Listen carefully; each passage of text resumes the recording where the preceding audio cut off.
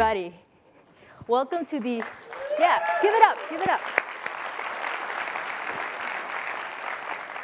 Welcome to the 2017 AppNexus Summit. I am very honored to be here, but also really surprised because they do not usually tap engineering to host these events. Uh, we are somewhat socially awkward, uh, deeply skeptical, cannot make sustained eye contact to save our lives, and social graces are not a thing. But you know, I, I think we're charming. I also think that Roombas are charming if, if you're into that kind of thing. But again, social graces aside, we love to solve problems. And that's the underlying theme of today's summit, is we're gonna talk about tackling some hard problems and the biggest problems that are facing our industry today. Fraud, supply path optimization, funding hate speech, what to do with all of this data. We have so much data, but how to do it without making people feel like we're invading their privacy or stalking them. These are hard problems. And we're gonna bring out a bunch of experts and builders to come out to talk to you about these problems and these solutions today. But I also want to bring out a special guest. And I know you all have these agenda cards in your hand, and you're like, uh, the special guest is Brian O'Kelley. He's not that special. We've seen him every single summit. But, but look, I'm going to bring out a different Brian O'Kelley. How many of y'all read Bok on Ads? Anyone? Show of hands, Bok on Ads. Uh, that's the Brian O'Kelley that posts things when corp communications and legal isn't looking. That's the guy I want to bring out on stage because that's the one that I know. So I was actually the first software engineer hired at AppNexus some nine and a half years ago. I've worked with this man for a long time. We were in cramped rooms together arguing about distributed data storage and whether a space should live before a semicolon. It should not. Um, no, really, it should not. That's awful. Uh, whether or not we can really sustain million requests per second on a shoestring budget. I've butted heads with this person, I've grown, we've worked together. And sometimes when I'm on stage and I see the Brian on Forbes and I see the person talking at the summit, you know, he's a little different. And don't get me wrong, I, I really like, you know, the, this tailored suit Brian with the core strategic visions and the, you know, analogies about the Industrial Revolution that are really heartwarming and inspiring. I, I like that guy, but he's just not He's just not the person I solve problems with. Um, the person I solve problems with, he's brutally honest, like terrifying honest. He, he tells you things that are really hard to hear because you have to hear them in order to build the right things. He is a lot more detail oriented. He does not speak in analogies. He brings out the data points. He brings out the prototypes. And above all, he is challenging. He blatantly challenges you. He will say to your face, if you can't do it, just say so which I know seems really rude, but it is the best kind of call out a person can have, because it is saying the only thing holding you back is your fear of failure.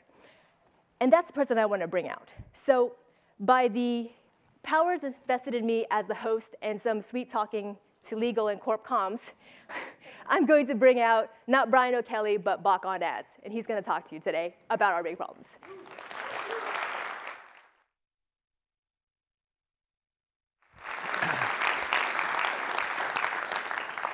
Well, thank you, Tivu. Uh, that was all an elaborate attempt to get out of wearing a suit today. um, Bok on Ads has a funny origin story. Uh, last summer, I was doing a lot of research. With the evolution of header bidding, we found that the same impression was getting auctioned into the exchange again and again. So the exact same impression, the exact same person, the exact same placement was being sold by five or 10 or sometimes as many as 16 different SSPs. And so it stands to reason that these impressions would all be sold at about the same price. But what we found was that there was a wide variance in the price that these impressions were sold for. Now, were I a conspiracy theorist, I would want to call a publisher and say, did you get paid all those different prices? Or are there shenanigans happening in the middle? are there SSPs that are taking some of that variance and keeping it? Now, I can't prove that, or at least I couldn't then. And so I wrote up this whole big blog post about the idea of supply path optimization. I said, why don't DSPs look at all of these prices and choose one SSP to buy from? And I, I, wrote this up, and obviously it should be the, the lowest price SSP, not the lowest price for the publisher. The publisher gets the same price, I think, in any case.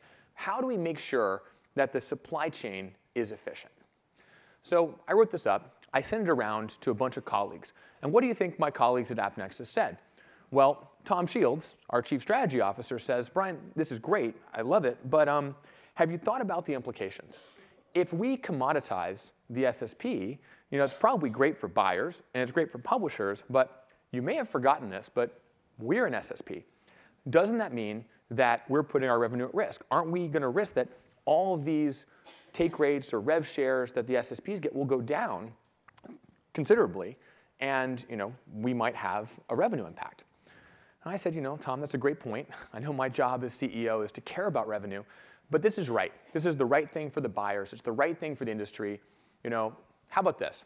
I won't publish my blog post on the AppNexus Impressionist, our blog. I will go register a domain name, Bok on Ads, and I will post it as an independent pundit. Now, most of you probably figured out that Bok and Brian O'Kelley are the same person, um, but maybe you know somebody else will go out and, and do this supply path optimization thing. And so I posted it, and you know, I don't mean to brag, I have hundreds of subscribers to this blog, like a few hundred. Um, that means less than all of you subscribe, so thank you. Um, but this blog post got some pickup, and people started talking about it. And a few weeks later, AppNexus decided that we were going to be the first DSP to implement SPO. There's something special about that that AppNexus wants to be the company that lives these principles, these ideas, that you know, enacts these difficult truths, that the supply chain is going to commoditize. The question is just who does it? Now, if you fast forward a year to where we are today, um, is Sarah here from AdExchanger? Sarah, thank you so much. Um, Sarah posted an article today on AdExchanger, and so uh, free publicity here. She asked 18 different SSPs two questions. One, do you take non-disclosed buy-side fees? Now, quick hint, if you take non-disclosed fees, you shouldn't tell a reporter about your fees. By definition, that's disclosing them. So that's a hint. Oh, so one SSP disclosed that they take non-disclosed fees. Come on, you're just not good at this, all right? So of the other 17, 10 said they don't, a number of them didn't even respond. Now, if you don't respond to Sarah, that probably means you have something to hide. How many of these SSPs do you think answered the second question? What is your average take rate of 18 SSPs in, in a market that is a year of talking about transparency? How many of them disclosed their take rate? Any guesses? One. Not Rubicon.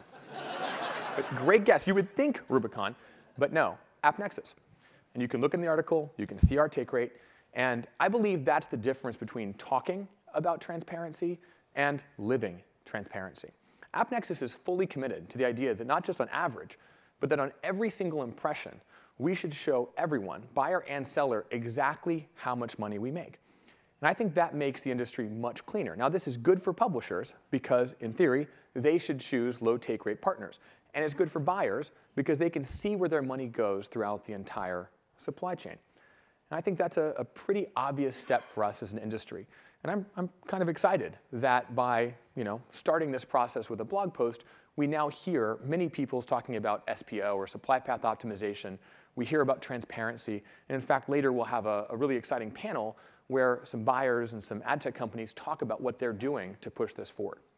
So that's how, how we can change this industry. And all of you have been part of this process. So with my Bok on Ads hat on, um, I feel like I can say these difficult truths. And with my AppNexus CEO hat on, I can make them happen. So I want to talk about something else that I've been really passionate about for the past four years. Four years ago, a few of us looked at our DSP, console, and said, we keep trying to build more and more machine learning on top of this existing platform. And every time we added more functionality, it got harder and harder to add to the UI. Those of you who use our product, you might say that we have the most complicated UI in the space because we've added so many features on top. But at some point, this has to stop. We have to figure out how to flip this idea. Instead of putting these machine learning algorithms things on top of this platform that wasn't built for it, what if we flip the, flip the paradigm? what if we started with all this machine learning capability and then built a DSP around it? This was a big idea. We weren't even sure it was possible. And we began down this path. I thought it would take a year or two. Well, it turned out it took us four years to get to the point where we completely flipped this platform inside out. Some of you have been working with this platform in our alpha tests and betas for 18 months. You've seen the announcement of a AppNexus programmable bidder. That's the secret sauce inside, and have been working with us on that for a couple of years. What you've seen is a long progression toward building a brand new product from scratch. And when you see Tiva on stage, when you see me here, you'll see a bunch of product people and data scientists and engineers. Really, AppNexus is, at core, a bunch of, of really smart, passionate people trying to build something that will transform the way that the buy side works. And we've decided to announce today our new buy side platform, which we're calling the AppNexus Programmable Platform, or APP. Now, there's really three things that are special about this platform. The first one is this idea of programmable, that inside it is this machine learning programming language, basically, where you can express anything you want. You have total control, 100% built on APIs that anyone can use.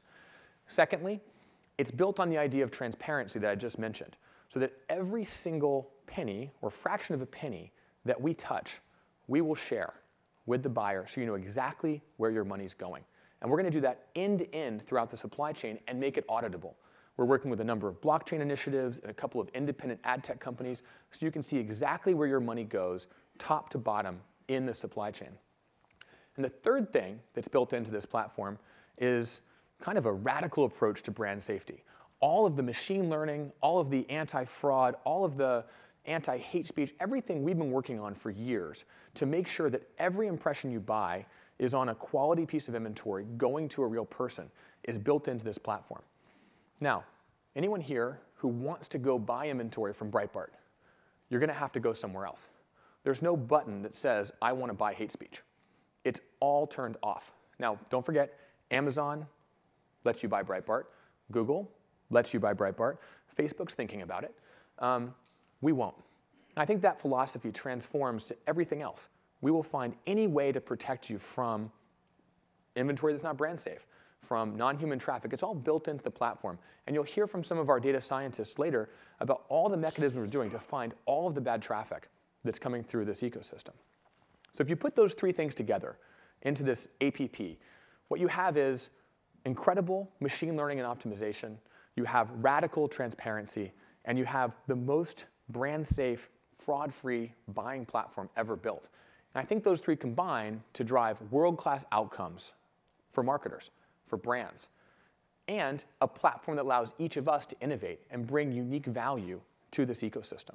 So we're replacing all of this leakage and loss with real value creation. And I think that means that we, as an ecosystem, can actually create value that none of these walled gardens can. So it will be available in open beta in February. Really excited to have you try it. I think over the next 6, 9, 12 months, we'll see even more innovation on top of it. And to show you more about APP, I'd like to bring out VP of Product, Suzanne O'Kelly, to talk more about app.